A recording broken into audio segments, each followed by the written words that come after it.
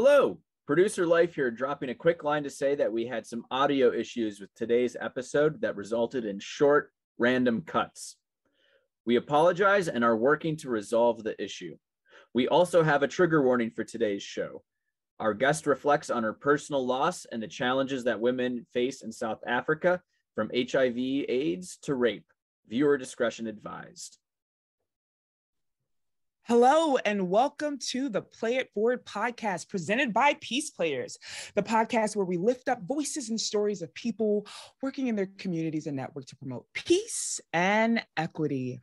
I am Chinny Nwagbo, your host, and I am so excited for today's show because we've got the one and only I mean, I don't want to give it away right now. I don't want to give it away right, right, now, but right, we got, right, you know, the origin original starting from the seed here who just is just going to be amazing for us today. So I'm excited about that. And that being said, let me tell you what I'm talking about. I'm excited for today's conversation and topic of discussion because we have a very special guest joining us who will take us on a phenomenal journey and share bits and pieces of the origin of peace players peace players in South Africa. And through the looking glass of her powerful and magnificent, magnificent life, we will learn so much. So I'm excited to be here. It's going to be a, hopefully not a teardropper, but mm-hmm, one of those mm-hmm. things where you just pat your chest because you know you're connected with, with our guests. But before we do that, um, I mean, where would I be? Where would I be without introducing the most amazing co-host in the world? Shepard. yeah, rounds of applause. Okay, guys, stop. Oh my god. Please, please. Oh please. my god, the fans are too loud. they are. Uh, I'm sipping coffee are. right now. It's a little early where I am, so we'll do a little ASMR first. Mm, Chinny, I am feeling great. I don't know about you, but it's God, it feels good to be back. You know what I mean? It's season two. I miss my listeners. I have separation anxiety. So this is good that we're finally, you know, back in the ball, getting the ball rolling. And um, uh, I have a very personal connection with today's guest, and she's like a second mom, like a best friend to me. And so, yeah, Chinny, yeah. without further ado, let the pe- let the people know who we're talking to today. Okay. Um, you, you know, I'm going to try my very best, and I'll give you just a brief introduction, but there's so much more, um, so many wonderful layers uh, about this human. So, our guest today was born and raised in the province of Eastern Cape and now resides in KwaZulu Natal, South Africa. She is a young woman who has dedicated her life to social development to help advance youth and women's advocacy through interactions and sports learn and share her experience with people that come from diverse backgrounds and find solutions to some of the most pressing issues that young people face. And if Drake were here, he would say she started at the bottom from being a participant with Peace Players South Africa and now is at the top, the tippity top, as the executive director of Peace Players South Africa. Please help me welcome Nasiphi Nas, we'll call you, Khafu. Welcome to the show. Woo-hoo. I feel like Woo. there should be like wow. drums and people yeah, just yeah. dancing and just bringing this name wow, in and lifting you up. We are so excited, so excited to have you. Welcome, welcome, welcome. No, thank you guys for having me. Thank you for the invite to be on the show. Absolutely. I cannot believe I am here. You guys do a fantastic job. I'm just really, really excited to have a conversation with the two of you and the world of Peace Players family uh, today. So thank you so much. Absolutely. Well, it's good. You know, we were choosing between you and Oprah, and we chose you. So oh feel oh uh, pretty good. No, Absolutely. I mean, first I was like, who? Oprah who? But yeah, yeah. Um, oh, that is, we're happy. that is very kind. That is very yeah. kind. um, and and and I, I'm sure you've listened to the show before, and um, he's kind of stretching, you know, you know, running his hands through his hair. And um, we always like to start to show off with our number one and only in the world uh, icebreaker king. Mm. Um, and his name is, well, you're looking right at him, mm-hmm. Emmett, Emmett Shepard. So how it's going to work is I'm going to ask you an icebreaker, going to break the ice. Self-explanatory, I know. Um, and then we'll just dive into our conversation. So today's icebreaker, let me stretch yes, a little stretch, bit. Stretch, get get ready, okay. get ready. Okay. So Nas, what message would you put on a billboard that thousands of people would see every day? What would wow. be your message? Wow. How big yeah. is the billboard? It can be gigantic. Let's say As it's big as like. gigantic. Yeah. Oh wow. Uh, I think I would put. Um, I think one of my maybe mini philosophies. Mm. I always say that God makes no God makes no mistakes. Amen to that. Um, Mm. I think that's what I would put in a very gigantic billboard. And I Mm. think that that stems from maybe you get to hear some of it uh, today, like some of my life, some of the Yeah. adversities that I faced, and yeah. that is one thing that has kept me positive uh, and Yeah. going. That just believing that uh, God makes no mistakes, whatever it is, He's prepared me for it. Take, if anything, it is a lesson and a preparation for even a greater, uh, great, greater comeback or Yeah. story uh, ahead of me. So I think that's what I'll put forward. I'll put in Oh a big God. billboard. I'm my God, we taking got- that. I'm taking yeah. that energy, uh, Nas, and I'm and I'm and I'm accepting it. Yes, absolutely. I Oh love God, that. it's five minutes in and we've already had a drop the mic. This is gonna be this is gonna be deep. Yeah. Um, what what what awesome. color scheme would you do for your billboard? Just very curious. Like, what's the colors of the billboard gonna look like for you? Please don't call me boring. I'll make it white background written in bold font in black. No, that's Yeah, perfect. no, No, no, no, Simplicity. Simplicity is what you need to get your message across sometimes. No, I completely agree. Yeah. Bold Wow. is definitely the way to go. My God. Um, so let me start by getting the ball rolling a little bit, Nas. So I, you know, for those of you who don't know, which I don't know why you would, um, listening to this, but um, Nas is like a second mom, and even weirder, like a best friend at the same time uh, to me, and was technically my boss at the same time. So there are these three avenues of a relationship that I had with her that I felt super lucky to have, and um, you know, I originally was a fellow in South Africa. I was supposed to be there for two years, and I ended up only being there for two and a half months. Um, really, one and a half months that I remember, because the first month and a half, as me and Nas would joke about, was just like a complete blur. Like you don't really remember the first month because it's such a culture shock. There's so much going on. You kind of get thrown into the fire, and you start doing all this different work.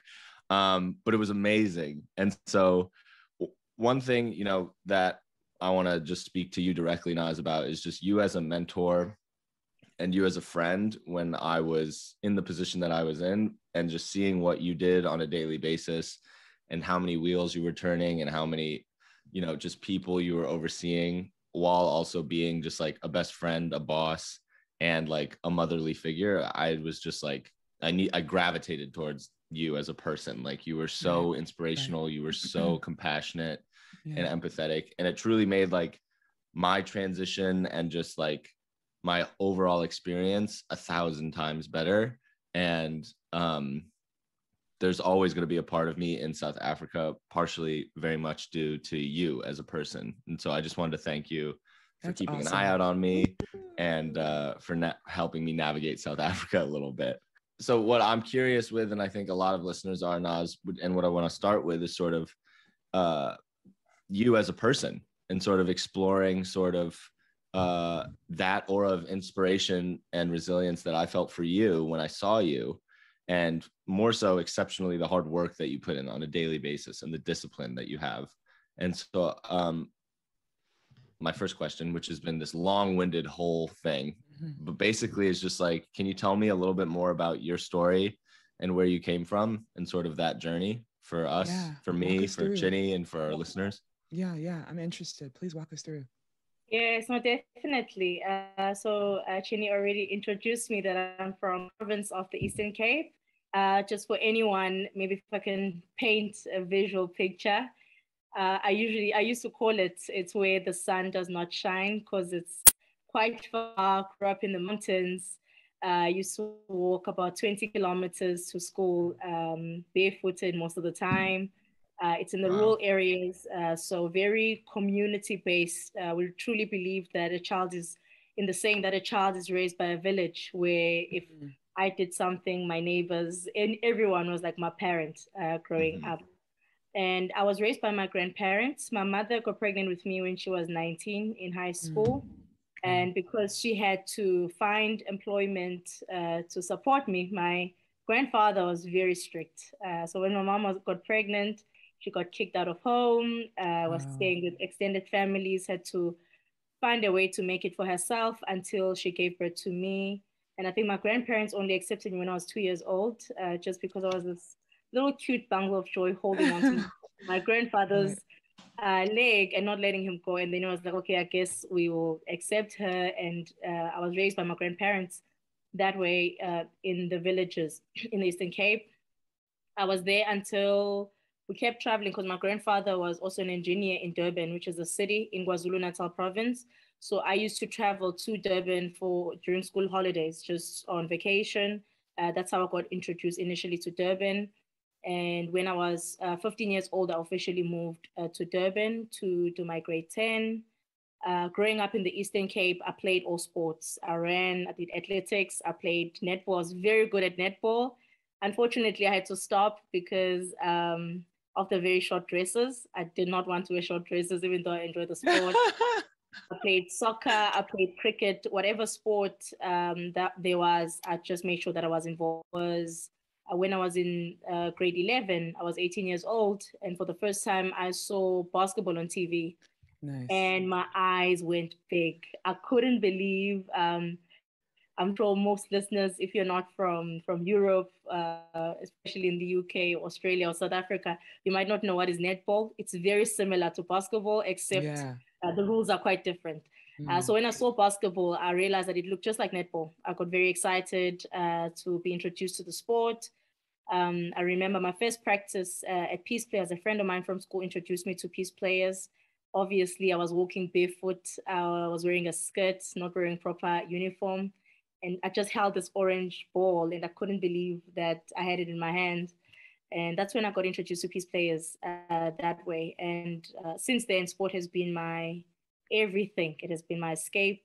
Um, when I went through everything that I've went through in my life, uh, that you'll get to hear about it um, just now, but uh, my, my basketball just gave me that home and hope and a place of belonging uh, where I felt like I was not judged based on coming from the rural areas, not speaking English uh, properly. I was not judged because of my self confidence and issues that I had uh, as a teenager, thinking I'm not beautiful or anything. It was just yeah. on the court, I felt like I belonged, um, and it didn't matter uh, where I was. Everyone just wanted to to wanted me to be a part of the team and that made me feel safe yeah mm-hmm. very nice very wonderful story um and yes uh, we we will definitely dive in far more but i just thank you for sharing that um yeah happy that um at two your grandparents were like you know what there's no way we can't love you there's no way we yeah. can't accept you so that was yeah.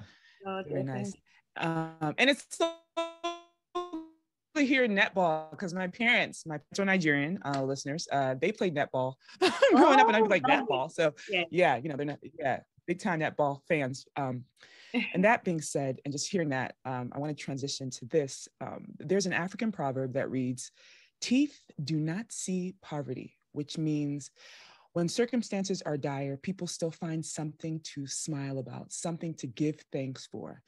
And I mention this proverb because it's clear um, that you faced a lot of challenges in your life at a, a very young age.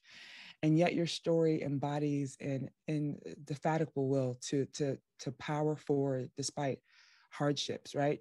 I, I, which I think are absolutely brilliant. And moreover, I think the word that best illustrates you, I'm just hearing your story and being with you these few minutes is resilience, right?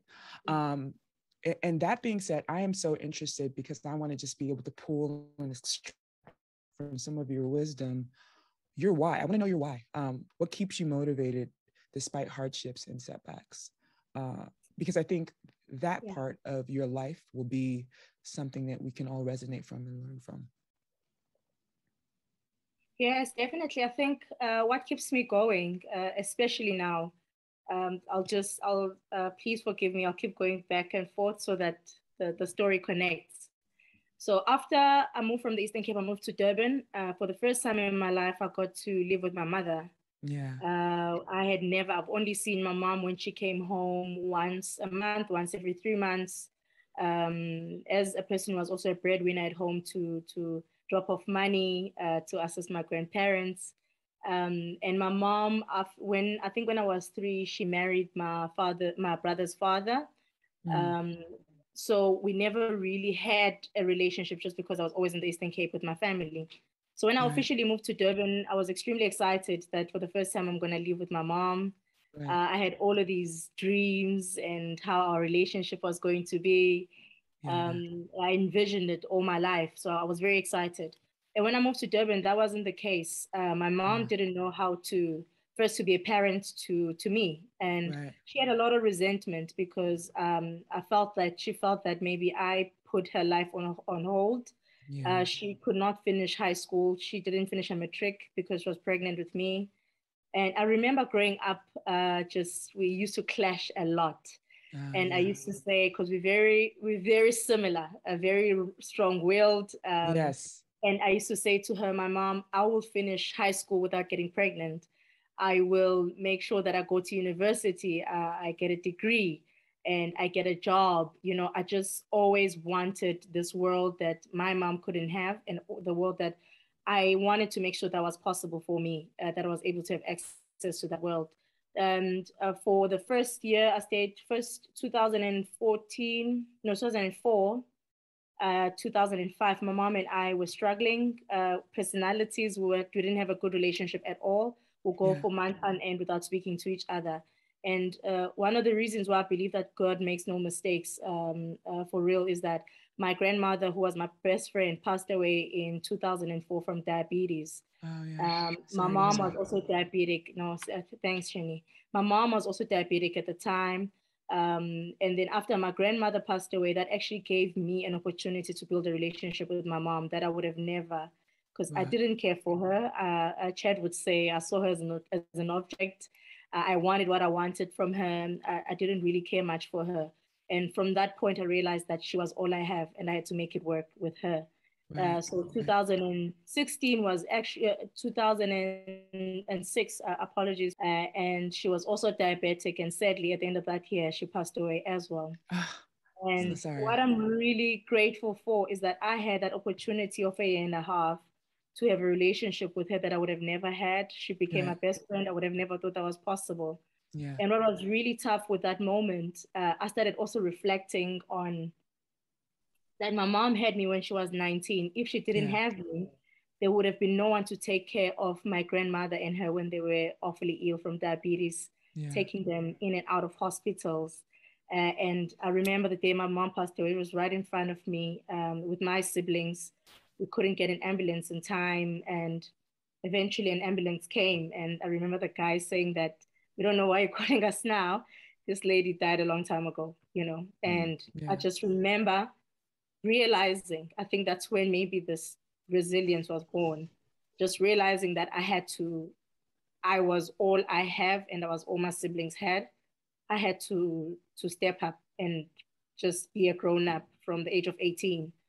Um, I had to, I looked at my sister who was five at the time, my brother who was 15, and my cousins in the in the house in the flat that we're share that we're all sharing, and just realizing that uh, in the next I need to find an undertaker to come pick up my mother's body.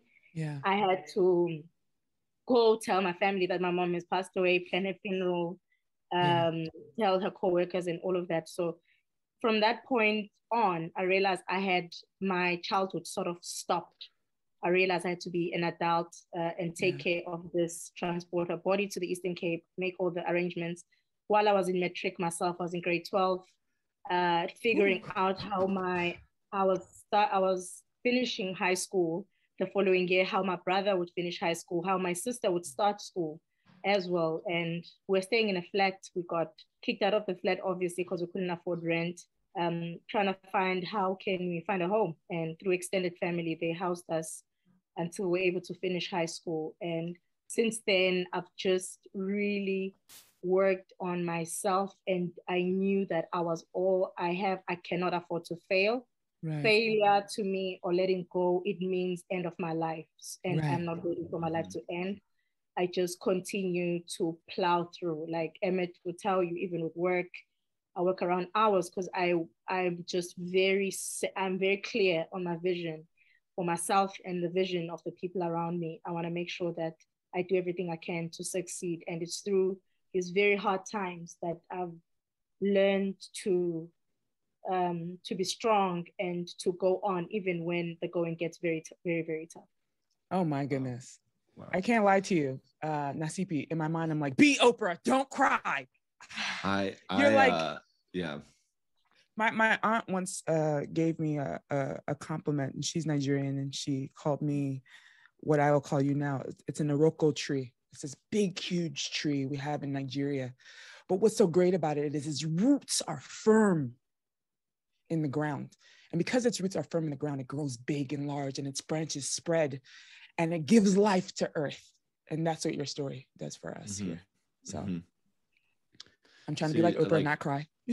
Yeah, I'm. I have glasses on. I don't want to get them foggy.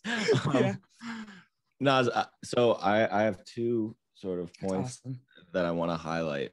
One is, uh, and again, feel if you don't want to answer, that's totally fine. How it was 20, 2006 when you realized, oh, I need to have a relationship with my mom. How those early stages with that, how long did it take until this f- script was sort of flipped and she was your best friend? Was it like how much inside outside transformation did you have to go through and stuff like that? Or like, what was that process like for you? Yeah, no, it's a very good question, Emmett. Um, I think what happened was because my grandmother was there, I sort of avoided even attempting to build a relationship with my mother. Mhm. Um, and I was so frustrated that I wanted her to see it was all about me, right? I wanted her to Yeah. see the world from me, how I was hurt, how I felt Yeah. abandoned when she wasn't there, how Yeah. uh, I'm your daughter. You're supposed to be like your best friend with your daughter, right? I had all of these Mhm. expectations that I created in my head and this perfect relationship that I wanted for us. And when she was not um, giving me that, I just completely rebelled and went the, the opposite direction and just didn't see her as a person at all. Mhm. And um, after my grandmother passed away in 2004, I realized that I didn't have an escape anymore. I had to Yeah. face, I had to Your face my fears. mother. Yeah. Um, I had to face my fears. I remember before my grand passed away, if I asked my mom to buy me shoes, school shoes, or anything, she said no or whatever. And I'll be like, oh, it's fine. I'll go ask my grand anyway. She'll do it. And then I realized that I didn't have that anymore. I have to make this relationship work. And I started Yeah. focusing on that. And even she'll do things that um, if my grandmother was around, if it irritated me, I would automatically shut down. But I started focusing on building that relationship. Even if she did something I didn't like, I started having conversations with her and sharing how she made me feel and sharing Mhm. how much I've missed her, how much I've, I need her in my life Right. um, and and so forth and so forth. And so that helped uh, to sort of accelerate that process. I'm not sure what it would have been if my grandmother was still around. My mother and I had that opportunity to build our relationship.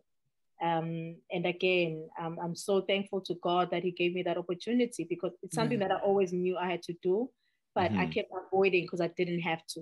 Um, Oh, and really now that now that I realize that um, I'm here, she's here, we need to make it work. Uh, when she passed, I felt like, thank you, Lord, for giving me that opportunity to build this relationship Right. because I don't think uh, I still struggle with it. It's 15 years later now since my mom passed away. I Mhm. miss her so much, um, Yeah. and uh, and I want to be able to have that relationship with her.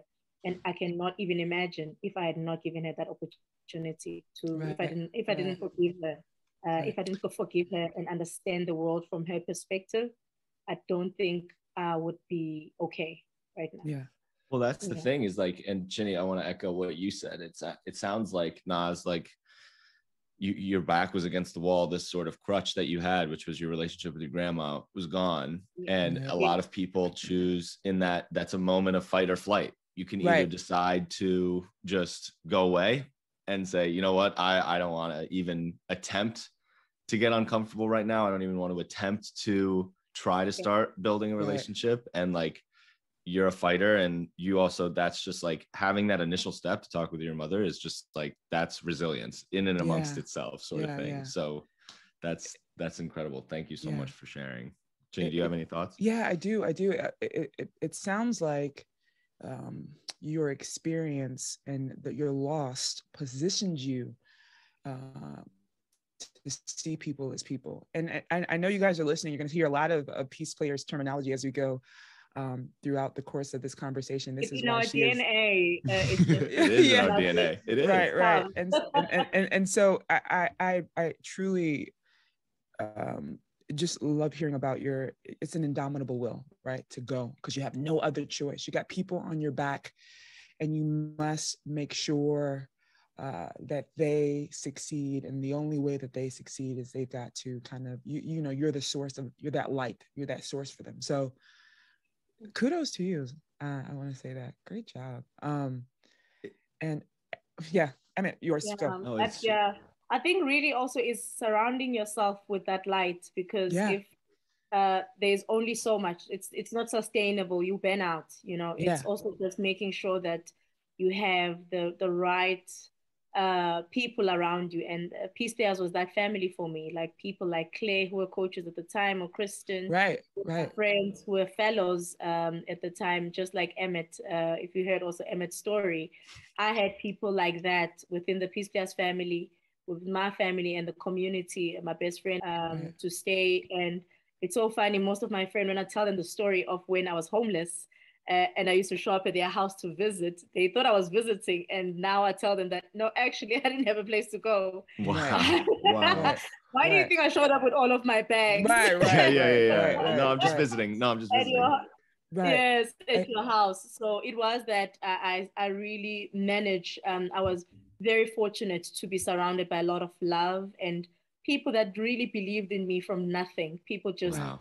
just Right. saw me and and they wanted me to succeed at all cost. And they they compromised themselves if they had to. I still have those people now and sacrifice themselves if they have to because they truly believe in in, in myself, um, in Right. my in my vision and the things that I want, and they just wanted to to help me. So when Mm. I, I was able to be that light for others, because I have so many other uh, people charging me, making sure that my cup stays full, so that I, Yeah. um, I Yeah. pour out for others as well. right Mm.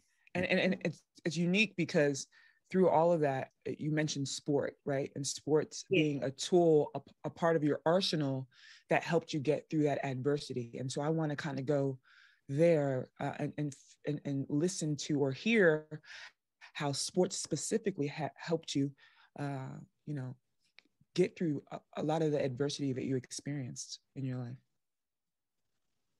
so Yeah, definitely. No. Uh, Chinny, uh, I, I'd say the other day I was looking at how many places I've been to around the world, uh, Yeah. countries or continents, and I realized I've never paid for a single trip. right right did for me. right, right. So I'm now a qualified. I'm qualified in sport management yeah. um, and, and youth, in youth development. And it's because of sport that I'm able to, uh, it has enabled me to give back to the people that I give back to, um, whether it's fellows, my staff in the office, our coaches that are graduates of our program. Sport has allowed me to do that. I remember many times when I was a student, I used to eat one packet of two minute noodles a day because I couldn't afford food um, and uh, drink water uh, for the rest of the day. In the evening, I'll go to my basketball practice, uh, play basketball until 8 p.m. Obviously, I've had a long day, I'm exhausted. I'll drink water and sleep. Um, you know, and I wouldn't feel uh, where else if I if I was doing nothing, if I was just uh, in my uh, student accommodation, I would have felt hungry uh, because Right. I, I had nothing to do. But uh, sports or my peers even uh, they would bring food on the court. So I usually say that Mm. sport fed me.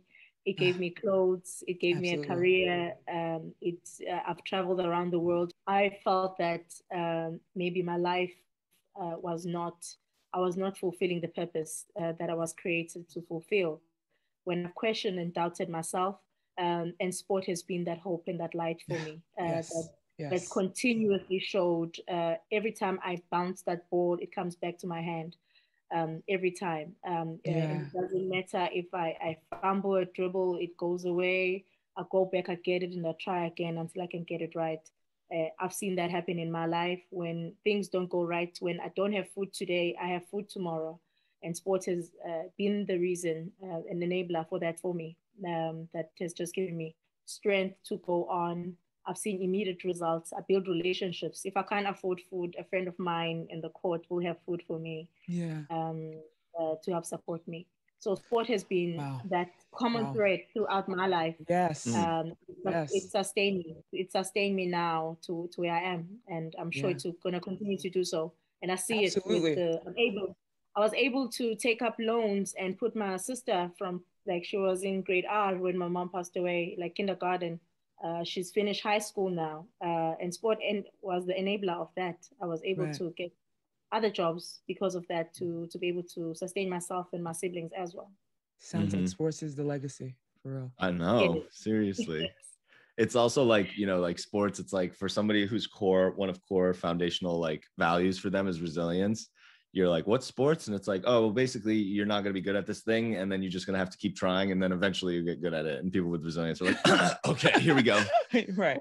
How many can I sign up for? You know, Right, exactly, right, kind of thing. Right. Right. Right. Uh, Now, as before we dive into sort of your relationship with peace players, um, let's take an exhale because we've talked about a lot. Yeah. you know um and we do this thing on the uh on the show uh chinny you want to uh describe to Yeah, her yeah, what, well- what she's about to go through the Well- well, gauntlet if you welcome. will Welcome to the lightning round. Um, and we will put in the sound effects So for it, yeah. excited. Yes, he will. Yes, he will. We are so excited to have you. Um, and this is just a light and fun space to be in. Our uh, most amazing icebreaker king and co-host Emmett will ask you a series of questions, and you have three sec, well, three four seconds max to Yeah. answer the questions. three to 20 seconds but usually only. Sometimes people take two minutes, but we'll, we won't talk about that. Three to 20. yeah, yeah, yeah. Uh, and it's just fun and light. Uh, and and yeah, and Emmett has a saying that he says that we will heavily. uh judge you with e- each one of your answers so don't worry at all with each question no we're kidding we're kidding Uh, after We're not kidding. We're not you kidding. know what? Let me stretch. Yeah, yeah, yeah. Yeah, yeah, Stretch yeah, a little. All you. all Emmett. right chinny you got the clock ready you got it ready Yes, I'm here. okay you got, Got the it. pen just in case we got to take some You know answers I got down the pen. It's always right here. It's always here. all right Always Nas, you there. ready are you ready Nas? Yes. Okay, so I first think question. so. Would you rather score a game winner at home or away? Away. Away, yeah. She wants to be the villain. I like that. I like that. I'm with there. I'm with her on that regard. You know, the crowd is good, but silencing a crowd, Chinny, I don't know what your thoughts on You this are, but I'll just both. re- Give them something to remember us by. so yeah. yeah. They'll never forget that. Exactly. Exactly. Nasiphi is bowing to the to the away crowd. Um, what was the last thing that made you Right. smile, Nas? oh, the last time made me smile. Right now, it's you guys. Awesome. Awesome. smiling Awesome. so Oh. much. Um, I think I have I have four nephews um, right now, so looking at their pictures really makes me smile uh, a lot because Awesome. I cannot believe there's like my siblings are real humans. Aw. Right, right, right, right. That makes me Shouts out the nephews. Shouts out Yes. the nephews. nephews. Um, all right, it's gonna start to pick up the speed a little bit. You ready? Here we go. Yeah. All right, Yeah. coffee or tea? Coffee, Morning bird or night owl? morning bird, Cats or dogs? dogs, definitely. Spring or autumn? Spring. Yeah. Nice. Pancakes, waffles, or French toast? Ooh, that is tough. Ah, my boyfriend loves waffles, so I think that's the thing lately. Waffles. Okay. Shouts that's out, cool. shouts Very out nice. MP Low. Shouts out MP Nice. Low. I agree. Um, bungee jumping or zip lining? Zip lining. I am Yeah. terrified of heights. Terrified Ooh, okay, of heights. okay, okay. So I feel like that's more safe. Yeah. Acceptable, acceptable. White sand beaches or sky piercing mountains? Mountains. Ooh, mountains. Because I grew up in the Mhm. mountains. Mhm, Nice. mhm. Nice. Space travel or deep sea travel? Ooh, space travel. Nice. okay, nice. okay. A million dollars or three Ooh, wishes? Three wishes. Yeah, I like this one. wow. Any, it could be any three wishes. Any three wishes. three wishes because why have a million when you can wish for 10? No, I was gonna There say you you, can't wish for more wishes, but we'll, I, I we'll was gonna say it. we We'll should probably accept put that. You can't wish for more money, but okay, yeah, okay, okay. Um, singing or dancing? Dancing for sure. Dancing. Yeah. Nice. Reading or writing? Hmm. Writing. Nice. Uh, last meal you had that made you go, wow. Wow. Uh, from down the road from the office, Mm. Emmett. Penny, Mm. when you come, uh, when you make it to South Africa, Which I uh, will. very- very soon. Uh, Yes. there's uh, a really cool sports town from our office called Falafel Fundi. They make the best falafels on earth. They My body's taste you like- guys, so I My love body's like shaking when you mentioned that. Like my body went through withdrawals just now. Yes. Uh, last thing you learned from someone else? wow. Uh, I, I would say is that life is not perfect. right. um, Mhm. and uh, life is just it's full of, of fumbles and mistakes. It's just how you you come out Mhm. and come up out of those mistakes and keep trying. So that was a good lesson because I used to be very hard on myself Mm. and wanted things to be perfect all the time. So that was a very valid lesson for me. I like that. How you turn your losses into your lessons. Love Yeah. that. Definitely, definitely. All right, last two. You're almost done. One person who inspires you. Wow. Um, I will not say my siblings. They have inspired me my whole life. But right now, I think um, someone like Serena Williams, um, Yes. who Yeah. is just against all odds, she remains her best self. Uh, Right. She just Firm. really, really you know she just really really inspires me to keep on and um, to know that there's nothing you can't do that you put your mind in so Mhm. Yeah. um, really right now i think that's a person that is um, always in my head whenever i'm faced with adversity i think Mhm. about how she overcomes and how she keeps on going time Mhm. and time and time and time again so And she's the That's her. effing goat. If in She case anybody wanted to know. go the goat is what he said. Goat. Yes. Greatest And- of all time. last question, the CV, is one thing you want the listeners to remember from today. Oh, wow. Uh, thank you so much.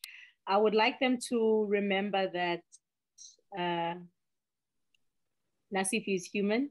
uh, she is uh, growing, uh, using uh, everything that has happened in her life to build her Right. uh, to be where she is. And Nasiphi remains hungry. Uh, she's continuously building uh, for the next. So uh, just like them to know that, uh, remember resilience, that through that, you are able to become, you're able to build and Mm. right. um, to able to be and be yourself. So uh, Yeah. through it all, resilience. You said one thing, so I'd say resilience and knowing that Nasiphi is like a tree, as Chinny said, she is Mm. rooted and she is growing many branches as she's getting older. Um, right. And she right. provides life for for everyone. every, everyone. Straight up. Um, and I'm like, whew, I'm excited. I'm like, Emmett, Emmett, can I go? Can I go? Yeah, yeah, yeah. Um, I have, yeah, can, uh, yeah, that was awesome. So that was that was great. Way to way to get and way to through get through our, it. Way to get through it. our lightning You got round. through it. Um, That and so proud, yeah, and so yeah, yeah. I was gonna say, and so how do you feel? But okay, I'm glad that you had a good time, and uh, it was tough, but you know, fun. Mhm. Um, I, have a, a a question I really want to ask uh, Emmett, if, if if if you're okay with me, just. Uh, so I did some research, and uh, Nas, I know I'm sure you're aware of this, but I want to talk about the disparities amongst boys and girls in South Africa when it comes to sports, specifically the importance of participation uh, in sports for South African girls and how pivotal sports are to their long-term success, not only as individuals, uh, and not only to their individual lives, but as young women and how that impacts the whole entire country. Uh, I've read plenty of articles that suggest South Africa produces plenty of great athletes, yet irrespective of that continued investment of time, energy, money into national sports, women continue to be underrepresented and receive the least amount of support as athletes.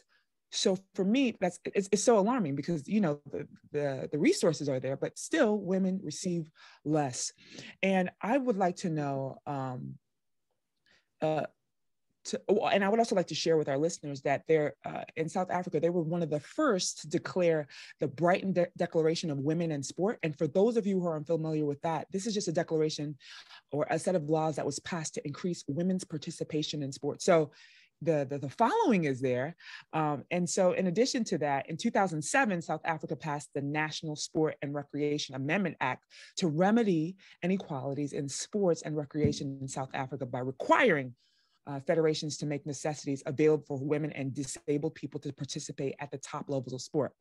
Despite these efforts, all of these efforts, sports and gender uh, equality in South Africa has not yet been achieved. And I want to know, in your experience, growing up in South Africa as a young girl who's played sports, all types of sports, uh, and now a woman who uses the game to produ- promote peace and provide equitable experiences to youth in South Africa, what do you think South Africa and really the, the world can do to help truly increase female participation in sports and help girls and women finally receive the support they need and deserve? Hmm. I'm sorry, Great I went through that really fast, but I just, I just was, I needed, question. I needed to get that out because I know you, you have a vision. Amazing, um, definitely.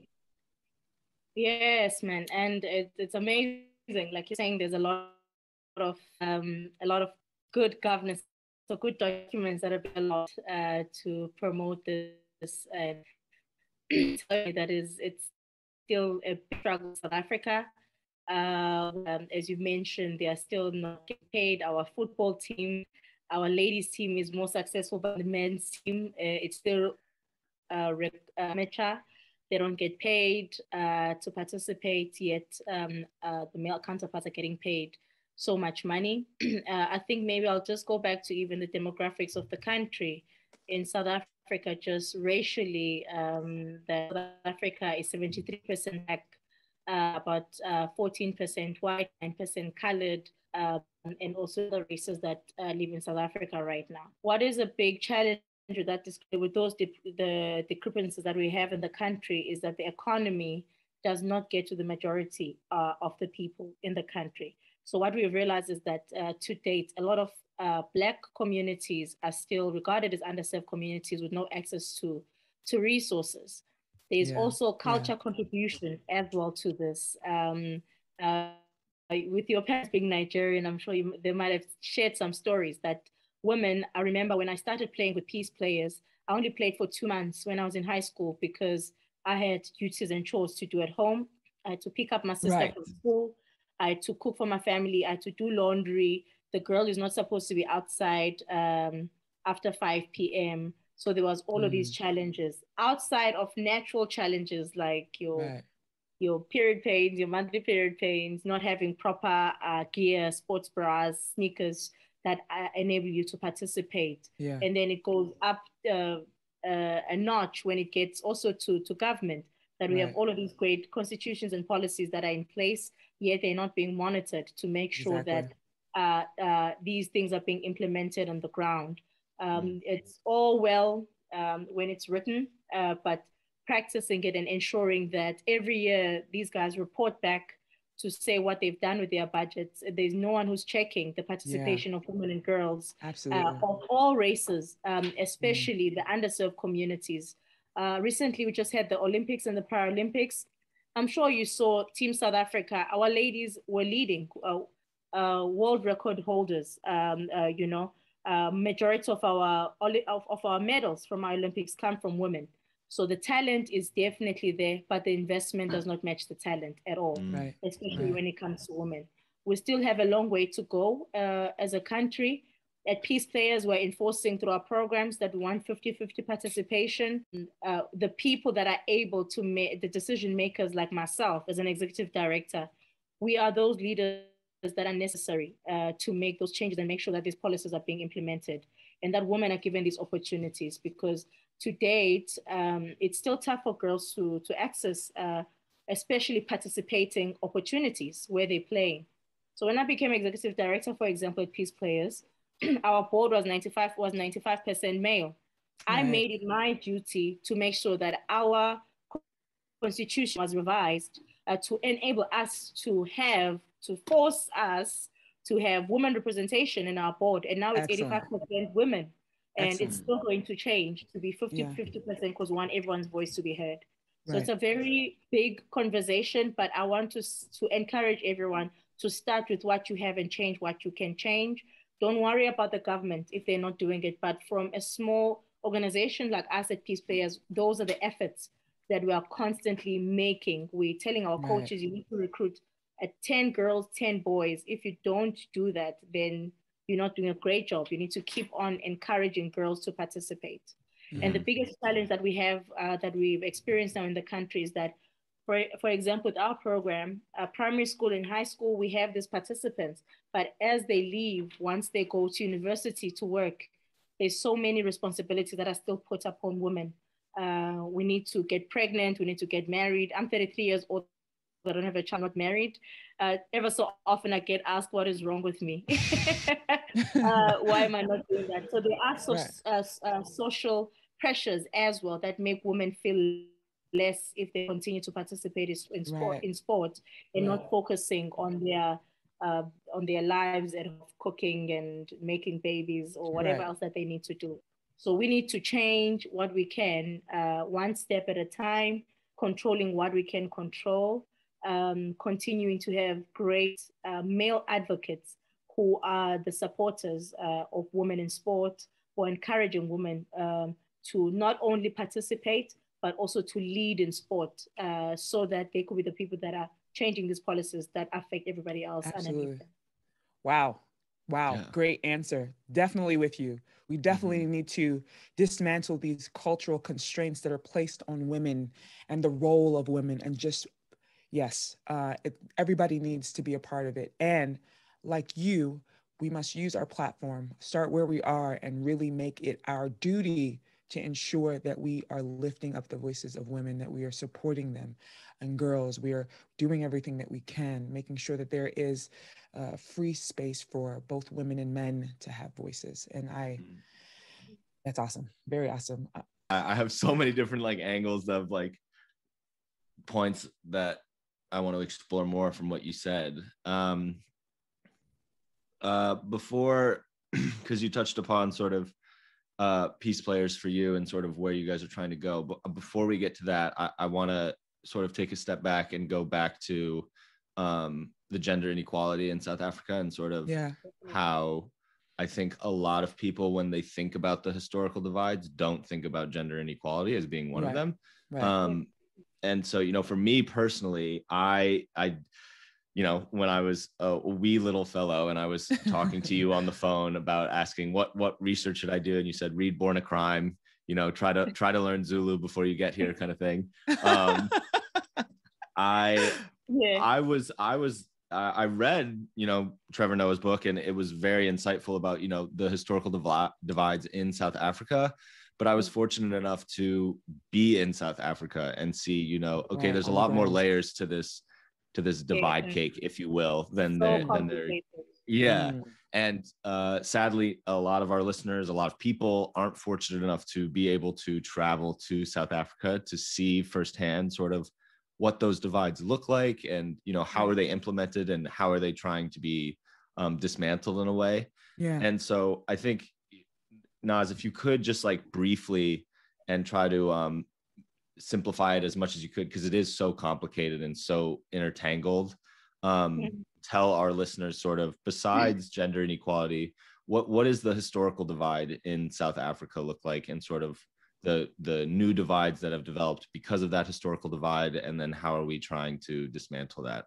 I mean the yeah. second half of that question you kind of already answered so more so it's just the the the first part of that question that i'm curious with for our listeners to know does that make sense yeah, it makes, yeah, yeah, it makes sense, Emmett. It makes sense. Uh, so the, the history of the divide in South Africa is apartheid, you know, over just 50 years ago, uh, when apartheid, for 50 years, we were under um, the apartheid lo- rules and laws in South Africa.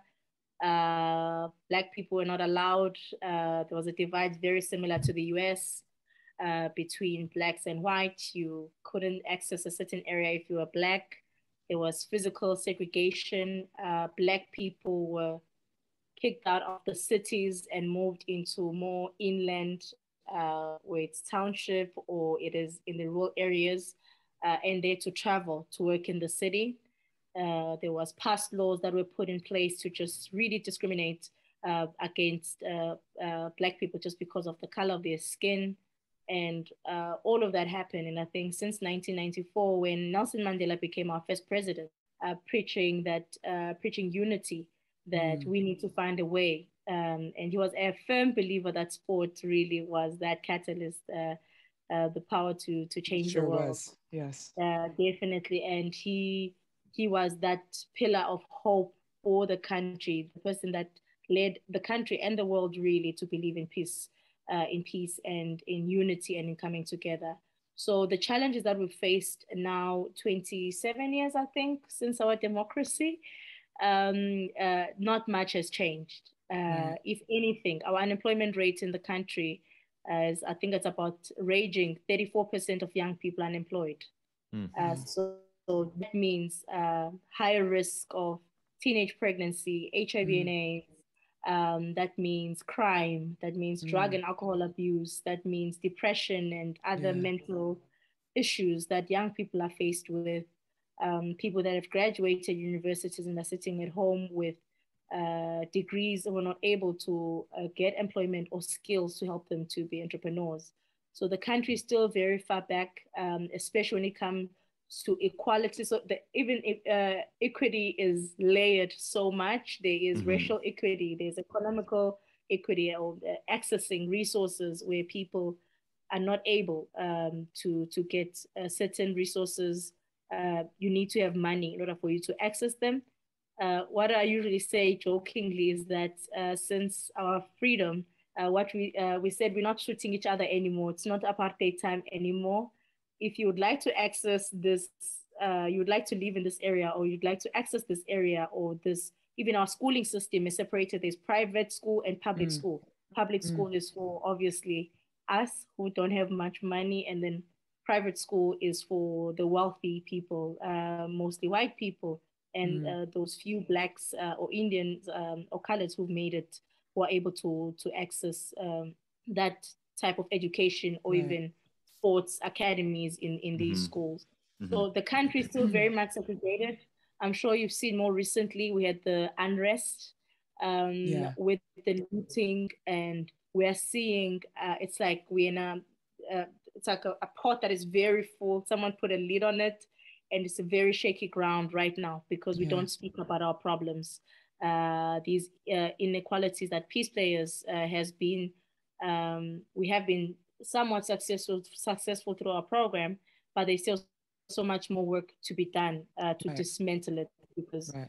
there's so many issues. And right. if these are country issues, you can only think how much more women and children are affected by this. Yeah. Um, children, um, women, uh, women abuse in the country, gender-based violence is every three wow. hours a woman is raped, mm. um, and wow. uh, a woman is killed. It's it, the statistics are horrific. Um, they're very disheartening when you look at them, but that is our reality, um, our everyday that we are faced with, that we constantly have to uh, speak hope um, and to Into, not yeah. just speak hope, but also to do hope and bring and show these young people that there is light at the end of that tunnel. Right, um, right, uh, right. Programs right. like the ones that we provided Peace Players it's still a very long way to go. There's still so much more work uh, that needs to be done. Uh, I remain very hopeful that uh, things will get better. We've seen them get better, but there's still quite a, a long way for us as a country to go. We need to prioritize uh, uh, organizations like Peace Players. And I'm not saying this because I'm a Peace Players. Uh, honestly, I truly believe in the work that I do. it has helped me from the dusty roads of the Eastern Cape. I'm the executive director right now not in my wildest dream. I thought that. I think I said it right. to the previous uh, executive director in 2009 that one day I'll have your job. but I didn't even know right. how I would even begin to go about that. And Peace has trained me uh, to to make me what I am today. So it's still a very long way to go um, to bridge the gap. Uh, right. And all we can do is to be very intentional with our attempt to bridge that gap. And that's what we continue to do at Peace Players. Yeah. Absolutely. No, that's that's that's amazing. Um, and, and since you you brought up Peace Players, uh, I mean, if you will, uh, mm-hmm. uh, I want to talk about uh, and explore, almost circle back to uh, an experience that you had as a peace player. Um, and that is your fellowship uh, in Northern Ireland. And for those of uh, the listeners who don't know, Peace Players International has five sites. Um, they are the originator, the number one, South Africa, uh, Northern Ireland, Cyprus, uh, the Middle East, and the US. Um, and, and so it's so interesting to hear your story, but specifically because you were a fellow for Northern Ireland. And I, I want you to speak to us about your time there. Um, uh, and really, my true question here is I'm just curious uh, to know how that experience helped you shape uh, who and how you've led, who you are a little bit, and how you've led uh, Peace Players South Africa as the executive director. And, and, and if you want, you can tie in all your other experiences as well. But I just want to know how that there's culture of collaboration there, that connection uh, between Northern Ireland and South Africa. So please share with us. Oh, definitely. Northern Ireland is my second home. I love it so much. It took me six months to adjust to the cold weather and rain, but I would not change it from an opportunity that I had. Um, part of I'm a very ambitious person. I truly believe that there's nothing I can't do. If I right. put my mind and my heart and my hard work to it, it's going to happen.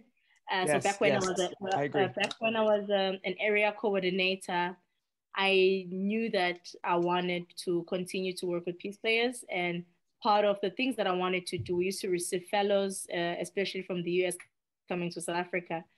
I was one of the first people to like, at least in my era, to challenge that and was like, well, how come we don't get to be fellows in other countries as well? I would like to right. be a fellow. Uh, these guys right, are doing right, a cool job. I would like to do a cool job somewhere else as well.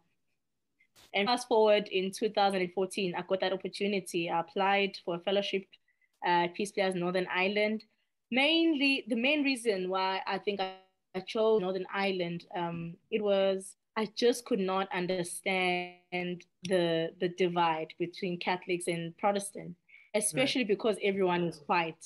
In comparison right. to South Africa, where in South Africa it's very easy. Uh, the, the white person the Indian person, colored person, or an Asian person. It's very easy for us to you can physically see right. the the segregation. Even when you're sitting in tables, um, mm-hmm. you can see how we interact with each other. So I couldn't understand how that was a divide in Northern Ireland until I got there. So that was my initial interest that right. I wanted to be able to see this.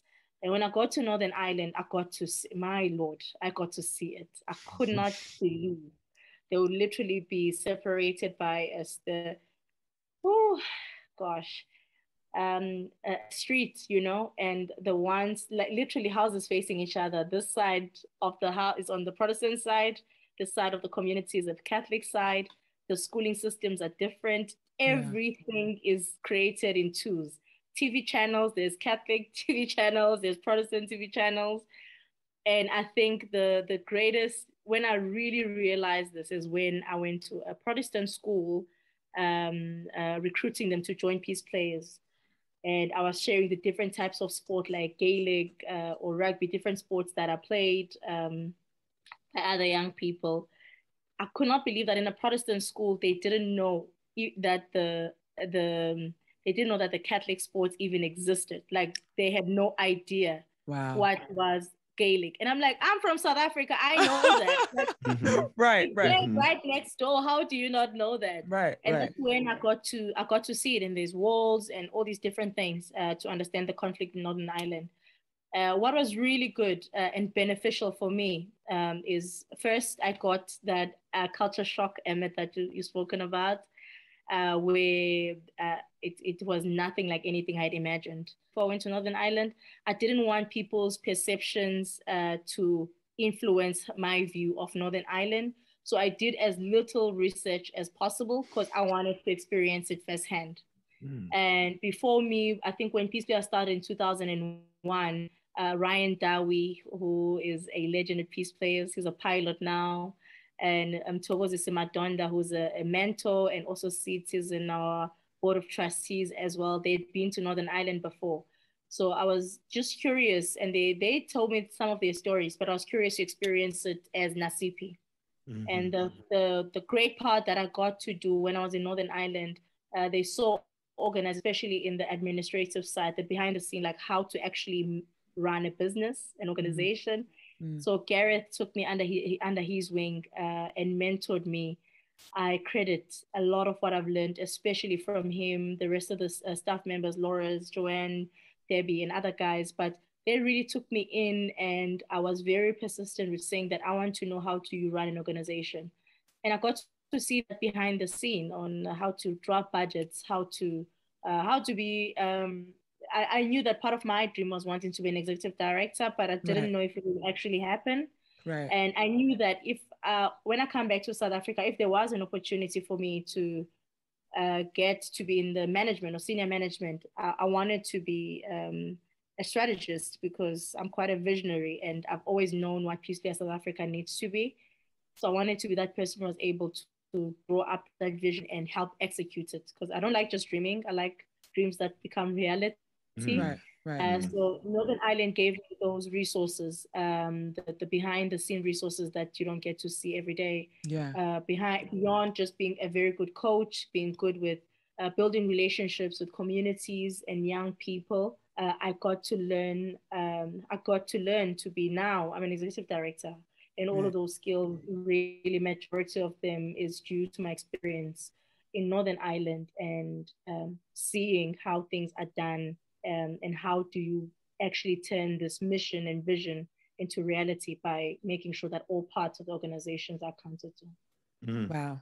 Mm-hmm. I, I just had to check myself because I'm like in the camera because I'm just I just want to like get all your words and everything you're saying because it's like uh, you know I can feel the light and the energy and that is uh, amazing uh, that you would even want to know uh, and stretch yourself in that way to to to to go and educate yourself uh, about divides beyond the color of skin, right? Yeah. Beyond yeah. racial divides, right?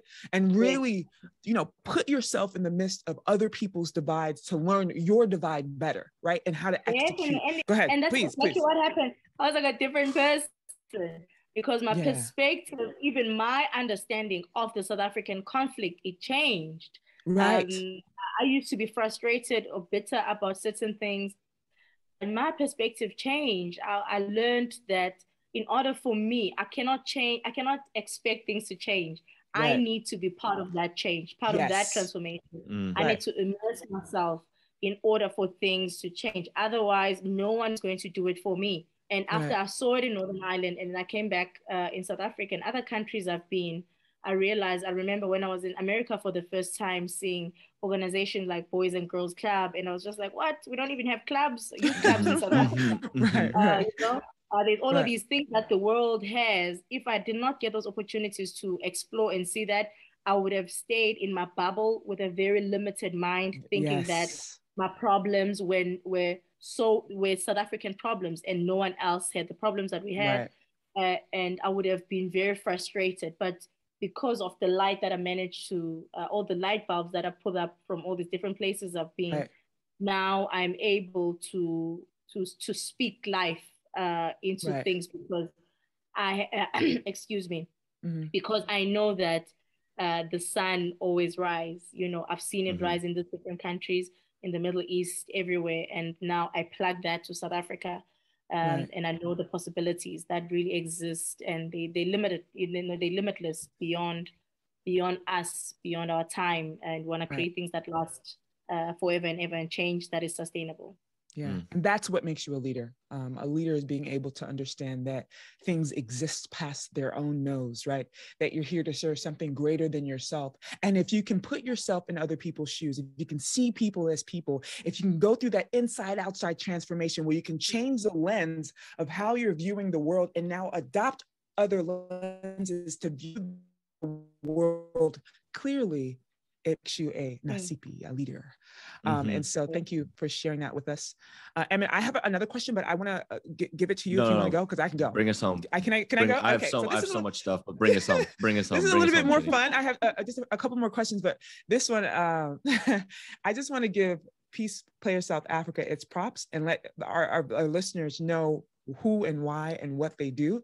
So for, for our listeners, Peace Players South Africa was established in 2001 to offer vital athletic, educational, and social opportunities to South African youth. Peace Players South Africa unites youth from diverse and divided communities through sustained sports based programming led by committed local coaches grounded in leadership development and conflict transformation who believe if we can play together, we can learn to live together. It's just a fun question because I know you'll know. I know you'll know. That's my African voice. That's my I know know. Um, what is the one thing that is a part of Peace Players South African program where Peace Players originated that you would share with all of the other sites just because it's so powerful and great? I mean, is it the the anthem? Is it the energy? Is it the dancing song and dance? What would you make mandatory in all of the five, the four other sites um, that South Africa does? That's just my fun question for today. Oh, Great Gosh. question again. uh, I'm not biased here for other sites, but Tell us, tell us, is tell us. no place. There is no place like Peace Player South Africa. I don't know whether it's because it's in the continent of Africa, the second biggest continent in the world. But our energy, uh, the energy that we bring, our hunger, Yeah, um, we we are we are hungry. We are hungry for knowledge absolutely. we uh we put ourselves out there and south africans we we dance a lot uh, we sing a lot the energy that we bring uh, i'm sure during the friendship games some of the twinnings you might have Yes. seen the energy that coaches bring uh, we truly just find ways to um, uh, Trevor Noah makes a joke that one of the reasons why it took us it took South Africa so long to be free from apartheid is because we always find ways uh, to to make every situation to find humor through every situation. Yeah. right, so right. when CNN or BBC they came to South Africa, they heard there was uh, this conflict happening. They'll come with their cameras uh, and they say, as you can see behind us, uh, people are striking on the street, but there- as you can see, people behind us are dancing and singing. Everything's okay. There's no issue. right, right, right, There's right. no issue because that's exactly who we are. We're a very resilient Absolutely. country. Uh, more than anything, our energy is unmatched. Yeah. Um, you put us I'm with anywhere, you. I can't agree will- more. we will not agree more. we will make it work. We will make it fun. Yeah. Um, So we have a lot of uh, great icebreakers that we'll share with all the Yes. South Africans uh, all Yeah. the other PCS sites. In Uh-huh. Cyprus, they know some of them in Northern Ireland, and I'm sure US, uh, Sfiso, and the crew Yeah. have shared in other countries as Yeah. well. So our No, I, energy is I unmatched. Thank you. completely agree. There's a just the like uh, I got bringing it back to me because this this is all about me this episode. Um, uh, the like coaches training Nas and like uh, just waking up and walking to work with Doug or quote unquote driving when I was learning how to drive stick. Um, just energy. Like it was always like, and Chinny, I know this is gonna be hard for you to believe, but I didn't have coffee in the morning. I didn't need it because I would have wow. just this- energy that was lifted from the people I was working with, like Tondo, Sofiso, Sanele, uh, G Payne. It, it was just like, and the coaches training itself, it was so, uh, I, I, the only word I can use is infectious. Everyone was so happy and positive Right, and right. laughing and dancing and chanting and Right. dribbling basketballs in the office. But it was also like, you would always stay on task and it never, I would tell Doug this all the time. I was like, dude, I don't feel like I'm working at all. Like I feel like Right, this can't be a job what I'm doing right now. Like I get paid to do this. I'm just like Right. playing with friends right. now. Like this is crazy. Um so energy, Very I completely second what Nas said. The energy is just like I'm with it. out of this world. You know, I love energy and I love Peace Players South Africa because they have energy. So for the other sites, I want you to know it is your own your duty to bring Yeah, the energy yeah. because Right. Peace Players South Africa is ready.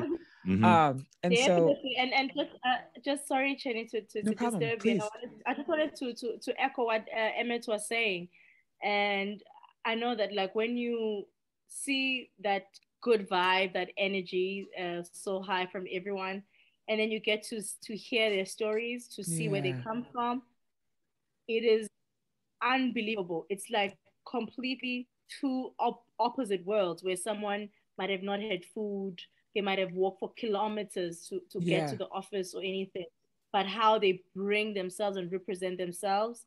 Uh, I guess it, it, could be through like that resilience where they, they come and show up 100% every day right. and with a big smile you wouldn't even know what is going on until you actually go see um, the, the house the, the makeshift house that they're staying in with, mm-hmm. with not even electricity or just candles and you're like how can someone who stays under right. such conditions right. be this happy and be this optimistic and this positive uh, yeah. Uh, so it's just something that I think it's engraved uh, in our South African DNA, really, to just and, always and, um, see that.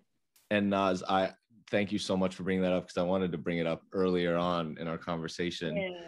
That it's it's almost like a paradox, Chinny and Nas, in terms of like you experience so much trauma, or if you do experience trauma at such an early age, or any time in your life, it usually, hopefully, at least with South Africa, there was always a sense of like these distinct two different worlds like one like Nas your story in particular you had all this immense resilience and trauma that you had to deal with and it shaped you into this incredibly inspirational like uh incredibly empathetic compassionate person and it's sort of a paradox right, but at the right. same time yeah. there has there's so many lessons that are learned from learned, that yes. it totally mm. shapes who you are mm. in the mm. future and so mm. it was it was yeah, like I I remember going to certain schools or seeing G Payne's where G Payne lived and just like being it was like getting hit with a ton of bricks because it was just so yeah. starkly different from his personality. You know what I mean? Yeah. Mm-hmm. That's why uh, you, you guys, this is just okay. I'll, I'll, I'll save it for that. But this has been amazing, and that's why I brought the proverb, right? Mm-hmm. Uh, because it's true. Like what uh, you see on the outside may not be what is truly going on in the inside, but still there's that glory, still there's that hope, still there's that energy. And that's what South Africa embodies for me. And I just want to bring it home with this last question, uh, this this deeper question, this almost drop the mic question uh, to seal the deal here. Um, and this is probably one of my favorite questions to ask our guests because it requires some type of deeper inner reflection of who you are now um, and and to to really reflect on who you were back then uh, trying to figure out your space in the world. Nasiphi you that Nasiphi you you mentioned trying to figure out your purpose and making sure your life is aligned with that and how we fit. And and that question is what would you say to the younger Nas who is trying to survive? The younger Nas who is trying to make a way where there seems to be no way. What would your advice be to her what would you what would your words be to encourage her to keep going to keep scratching to keep finding that hope? What are we saying to to little Nas because there are so many little Nazes all over the world that need that message.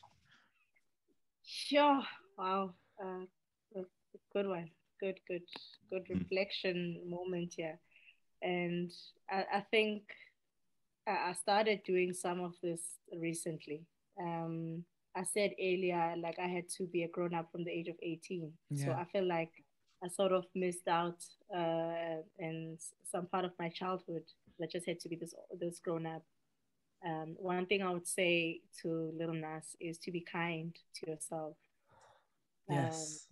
Um, um, and uh, to just first is to be kind, to keep dreaming.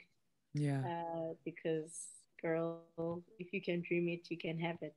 Uh, I, yes. usually, I usually say that God will never let you think about something that is not possible. The fact that you're right. thinking about it is already implanted that it's going to happen. It's for you. Absolutely. So dream it. Um, I wanted to be an executive director. I'm an executive director now. So it's all possible. Right. And I will tell something that I recently started doing. Um, that I think has always been a challenge was to, to go, go, go, go, go, because I was so scared of failing. I was so scared of not having food again, so scared of not having clothes and not uh, being able to, to be in a CP that I am now. Uh, something I started um, doing is I have a life coach now. I started really this year. I'm trying my very hard to really hold myself accountable to this, to really uh, focus on healing myself so that I could heal others. Yeah. uh, facing some of the traumas that I've um, I've been avoiding or not dealing with because I've been so busy. So I'm learning to be still a little bit more. Um, I'm seeking professional help for people to help me um, untangle all of these wires uh, that are in my mind to deal with some of my childhood uh, traumas Yeah. uh, to to make me better. So something that I wish I had done earlier was that that I wish um, even my situation with my mom. I wish when it happened, um, right there and then, I, I wish I had received the support that I needed to Yeah. to deal with that trauma. I, I think Mm. it took me years. I was in a program, the Laureate CS program with Mtogo um, in 2012, and when a circle of support sharing our stories and something that we and that they were speaking about grief, um, death, and grief, and how do you overcome. And I just remember shutting down, and I used to Mm. just have it was like a, a shutter door or like a wall where I would just close off because I didn't want to talk about it. I didn't want to face it. And he asked me a question that what if one of the children that you're coaching had suffered a loss and grief? How do you then help them if you can't help yourself? Mhm, Right. mhm. So we kind start from within, dream big. Um, uh, there's no limits uh, to what you can achieve. And with that being said, that is our drop the mic moment. And I won't even repeat it because how you said it was exactly how it needs to be said.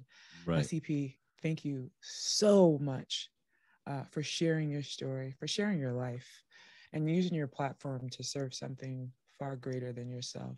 You are a leader, you're phenomenal.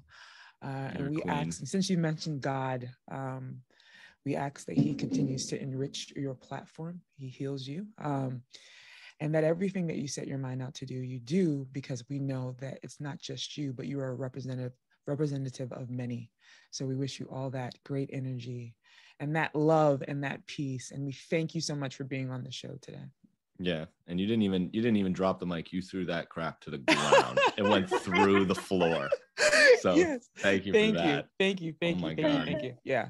No, No, it's thank always you a so pleasure. much. Thank you for, Yeah. for the opportunity. You uh, you are phenomenal. I cannot believe that as people just started this podcast this podcast now, and really really honored to get an opportunity to to be here. I know you've had some really uh, distinguished guests that have done a fantastic job. I hope and trust that my story uh, would have um, uh, been powerful and has helped. Yes. uh, Oh, stop it. Of course. Yes, what are you talking course. about? To Please. reflect Yes. on their lives and more than anything, they need to come to South Africa. Yes, Well, yes. I'm coming. I, me and Chinny are coming. We, we Yes. promise. We Thank promise. you. Yeah. Um, Um, If you want to look for flights for us, For us, well, we're appreciated. Yeah, open. we, Yeah. we we're, we're, we're We are open to that open. if you want. Thank you. Thank you so much. And that's it for today's episode. Thank you all for listening and joining us on this amazing and magnificent journey. If you like what you heard, we encourage you to like and subscribe. We've got so many more brilliant, amazing conversations and stories to share in the coming weeks. And like I always say, share with a friend, like a review, like The Mighty Lion, who says, a spectacular show, great guests covering interesting topics. Love how they relate it back to youth and how they can, all, how we can all improve. Excuse me there. Oh my god. That being said, um, Emmett, what are your thoughts on the show? That's my singing scream. Uh, thank you, Lion. I appreciate that. Um, wow, she is just so bad ass, if you know what I mean. And like, uh, I can't get enough of her. Her energy is so infectious. Wouldn't you It, agree? it really is. It really, Ah. really is. It's you know, it you was- can learn. Oh no, no, go ahead. No, no, no, go ahead. I right. mean, Go ahead. Go ahead. Go ahead. Tell us how we can learn. Tell us how we can learn. I mean, if you want to know more about what she and Peace Players South Africa is doing, you can f- find us. Peace Players South Africa, their handle on Instagram is Peace Players underscore SA. So check them out. They're doing a lot of big things, dealing with a lot of different issues, but they're they're getting the ball rolling for sure. And uh, you follow us also on Instagram, Facebook, Twitter, LinkedIn, YouTube. You know what I'm gonna say. MySpace, Tumblr, uh, VSCO. No, none of those. Nobody uses those anymore. So Right, let's move right. on. Um, you know, season two, I thought I'd get better at this, but I no, gotta go lay are. down. That You was are. that was just. Oh yeah. Oh my god! I gotta lay down so and stare at powerful. this ceiling. She is so powerful. She was Yeah, vulnerable. bro. Like